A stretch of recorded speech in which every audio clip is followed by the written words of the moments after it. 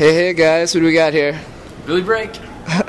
Um, just got to Seattle. Um, have you? What do you think about the new set, and how do you think it's going to affect this Uh, weekend? A big effect. Uh, Abyss Rising is a really good set with lots of really good cards. Uh, generic cards like Abyss Dweller and uh, Gaga Gaga Cowboy are definitely going to you know be, be in a lot of decks. And then Mermails and came out and with the Atlanteans from the water deck that just came out, the water starter deck. Right. The deck's probably one of the best in a long time in this game, and it's gonna it's already it's either gonna have a huge effect, like it's gonna win, Right. take over this tournament, and it also has a huge impact on all the side decks for other decks trying to beat it.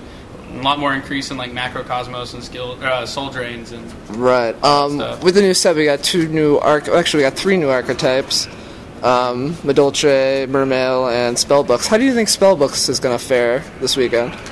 Uh, they can be pretty good. Like, uh, I mean, the High Priestess and everything came out in the previous set. Right, they, right. They got the, a lot of support in this set. The, the tower's really good.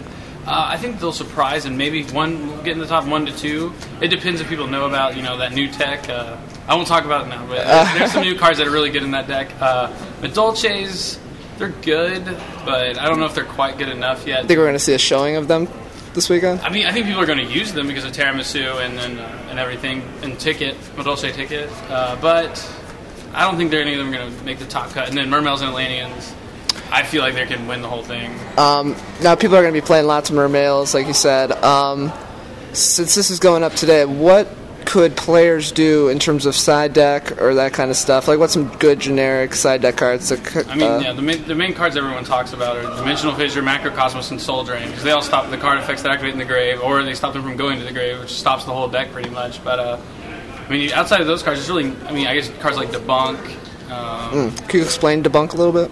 Uh, debunk, uh, you can use it against mul- multiple decks. It negates anything that activates in the hand or grave. Right. So it negates any of the aliens effect, and it can also negate things like Maxi, Gorz, and Trag. And Mm-hmm. uh, it's pretty versatile. Like I know in Japan they used it a lot. They still do, but I, I don't think it's the most effective card to use against the deck.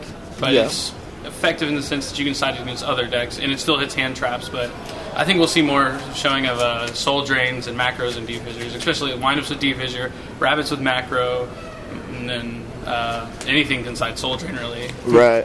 Okay, so we got a new um, card this weekend. Actually, we got five. Yep. Uh, what do you think of uh, ARG's new tokens? They're amazing. First of all, I love them because they're all my friends and myself, I guess. I mean, I love mine. Xavier Arabellum, one of my favorite cards of all time. Nice. I've talked with them a lot of people who actually know. And then, I mean, they're all alter reality guys. They got Joe, Jeff, Alex, and Cordero.